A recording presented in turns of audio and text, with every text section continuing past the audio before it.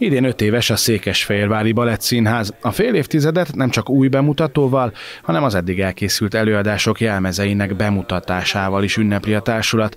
November másodikán este 6 órakor nyílik majd a különleges beszélgetésekkel is színesített tárlat a Szent István Múzeumban. Az öt évet ez gyakorlatilag nem csak egy új bemutatóval, hanem ezt elárulhatjuk november elején, még az előadás előtt egy, egy balett kiállítással is, egy jelmez kiállítással fogja köszönteni, illetve az érdeklődőknek megmutatni tulajdonképpen közelről, milyenek a balettjelmezek, milyen anyagból vannak.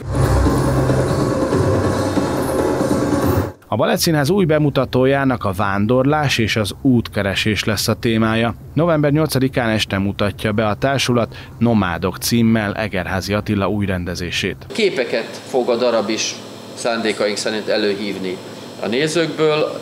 Ezt a témakört és ezen túli témákkal is foglalkozik a, a darab, és valóban, mint ahogy mondottad, a, a reflektál többek között a táncosi létformára, ami egy nagyon rövid létforma, vagy viszonylag, ugye a művészeti ágak között nem sokáig tud táncolni ilyen intenzíven, ilyen szinten egy táncos, és ezért vándorol, hogy minél több minden megélhessen és több helyen tudjon dolgozni. A teljes társulat fellép majd az esten. A Nomádok című kortás balett zenei világa ősi zenei témákhoz nyúlik vissza. A táncszínházi produkció pedig kortás táncnyelven teszi láthatóvá a darab zenei világát. A november 8-ai premierest kicsit visszanyúlik majd a balett színház kezdeteihez is, hiszen az est további előadása a legelső fehérvári balett, a Blablabla lesz.